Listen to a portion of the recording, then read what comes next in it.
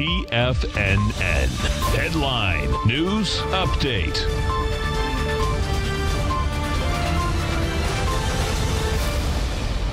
Good afternoon, everybody. I'm Tommy O'Brien coming to you live from 3 TFNN, 3 p.m. Eastern time on Thursday, final hour of the trading day, and we got markets in negative territory. Dow negative 360 points right now, trading 24,272. S&P's negative by 39, trading at 2,900 on the dot. Nasdaq negative by 77 points, trading at 88.35, and the Russell leading the way down as it had on the way up in the last few days. Russell negative 44 points or 3.2 percent in the red, trading at 13.16. We'll start things off. We're going to start it off with the VIX this afternoon afternoon.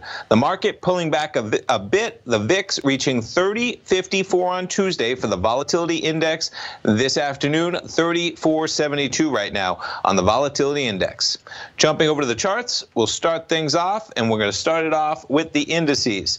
We'll start it off with the Dow, 24,157. Last night at midnight, you were up as high as 24,789, so about 600 points below that price level. NASDAQ 100 trending lower for most of the day. We were as high as 91.44. You're trading 200 points below that level at 89.20 right now in the NASDAQ 100. We get the two biggest of the giants this afternoon with Apple and Amazon coming out with their earnings after the bell. S&P is trading at 28.90. We were up as high as 29.64. So put things, you're, you're 75 S&P points above where we, excuse me, below where we were at midnight Eastern time. How about crude in the last hour? Crude at 215 accelerating from 1690. We're now trading at 1884 in the price of June crude. Gold contract trading at 1691 right now, falling from about 1730 early this morning, and natural gas catching a bid at 193.78.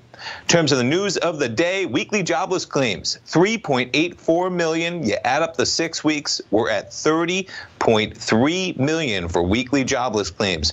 Quite a number. After the bell tonight, as we said, Amazon and Microsoft. Both of those companies trading positive in a negative market. You have Amazon shares up 2.1% right now at 1424, and you have Apple shares up 1.2% at 291. And if you jump over to that Analyze tab, Apple looking for an $11.28 expected move for implied volatility. Amazon, how about a $128 move for implied volatility? Stay tuned, folks. Tom's doing his webinar right now for timing the trade. So Steve Rhodes filling in for the hour live from 3 till 4. We'll be right back.